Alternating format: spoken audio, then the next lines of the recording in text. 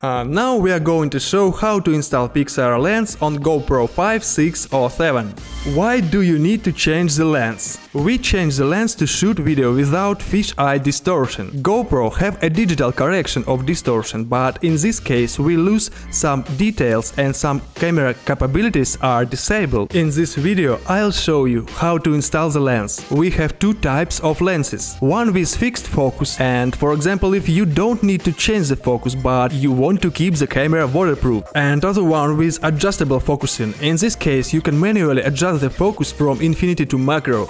But in this case, your camera will be able to dive only using a waterproof case. In the kit you will have everything you need to install the lens. Installation process takes less than 5 minutes. We have 1 year warranty on all products and we also offer 14 days to return for any reason.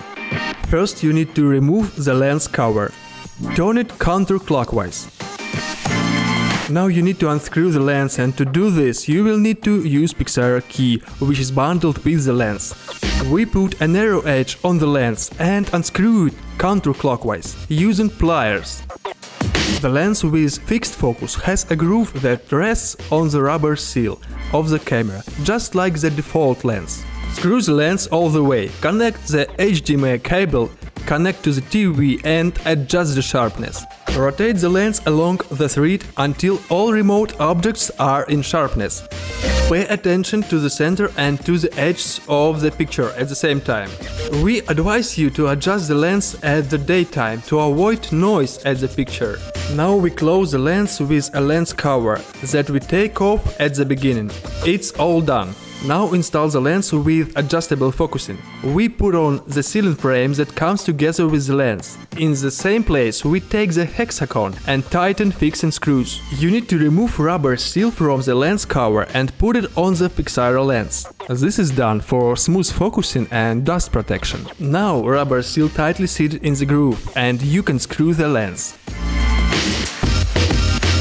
Now you can adjust the focus as we shown before in the previous example. Connect camera to the TV or use the focusing sticker. In this case we are focusing approximately to the eye using screen of the camera.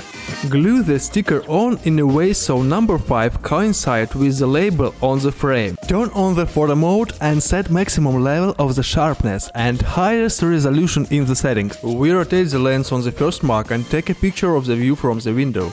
Then move it to the next mark and so on until you have a photo for each mark. Now open the photos on the computer and compare the pictures. Choose the sharpest one, paying attention to the center and to the edges of the picture. Rotate the lens to the mark where you got the sharpest shot and no longer move the lens until you glue the black sticker on. Glue it in a way so the mark of infinity coincides with the mark on the frame. All is ready, now you can adjust the focus set it to a meter, half a meter, 20 centimeters or to extreme macro. That's all guys, thank you for watching and we wish you an excellent shots.